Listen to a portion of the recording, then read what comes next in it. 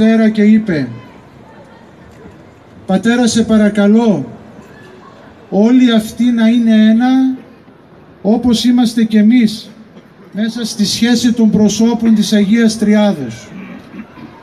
Έτσι όλη η πόλη σήμερα και οι έξι ενορίες βρισκόμαστε εδώ στο κέντρο της Πτολεμαίδος για να δηλώσουμε με την παρουσία μας με αυτά που λέει η γλώσσα αλλά περισσότερο η καρδιά μας την μεγάλη αλήθεια ότι ένας και μόνος είναι ο αληθινός Θεός ο Κύριος ημών Ιησούς Χριστός τον οποίον εγενεέ επάσε ύμνον τη ταφή σου προσφέρου συν Χριστέ μου.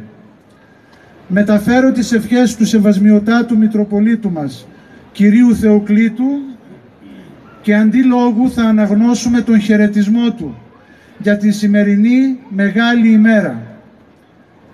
Αγαπητοί μου, κατά την παρούσα στιγμή που βρισκόμαστε στη συνάντηση των επιταφείων των ενωριών της πόλεώς μας, είμαστε η μεγαλειώδης απόδειξη αυτής της αλήθειας, την οποία ψάλουμε πρώτου επιταφείου μας. Χριστέ μου, μαζί με όλες τις γενναίες και η δική μας προσφέρει σήμερα ύμνο στην ταφή Σου. Αυτή τη στιγμή ζούμε ένα παγκόσμιο γεγονός. Είναι η λιτανία του επιταφείου σε όλα τα μήκη και τα πλάτη της γης.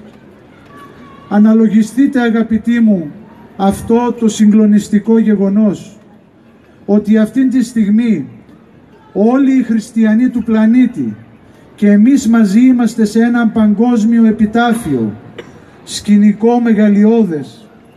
Ποιο άλλο γεγονός μπορεί να ισορροπήσει αυτό που ζούμε όλοι